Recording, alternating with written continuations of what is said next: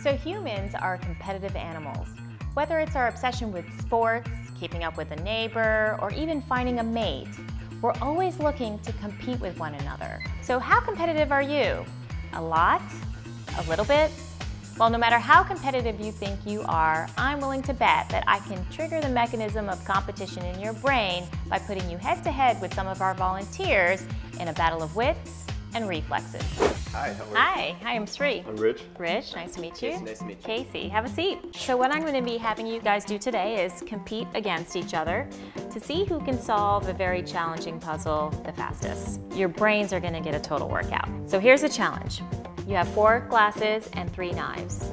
You need to find a way to stack one of the glasses on top of the other three, but using only these three knives. In your solution, the glass that's on top can actually not physically touch any of the other three glasses. So you're really looking to use these three knives. So what I'd like you to try at home is to see if you can solve this puzzle with our volunteers and maybe solve it faster than they can. Okay, ready?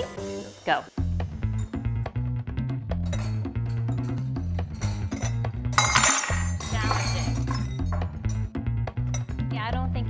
Glasses can be touching any other glass. Touching the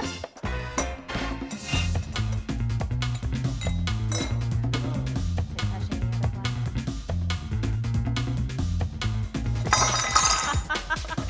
Okay, so if it's not touching the other glass, I think that's a, a feasible solution. How are you doing, Casey? Wonderful.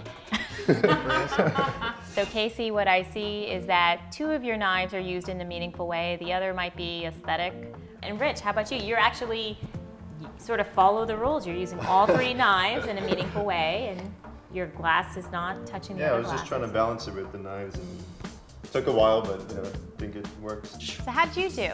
Did you come up with one of these two solutions? Something else? Did you come up with it faster than they did? The interesting question is while you're competing, what's actually happening in your brain? There's a pleasure hormone called dopamine that gets released when you're in competition. And actually, if you win, there's more release of dopamine. So in other words, our brain gets addicted to competition. Now that you know how to solve this puzzle, try it at home.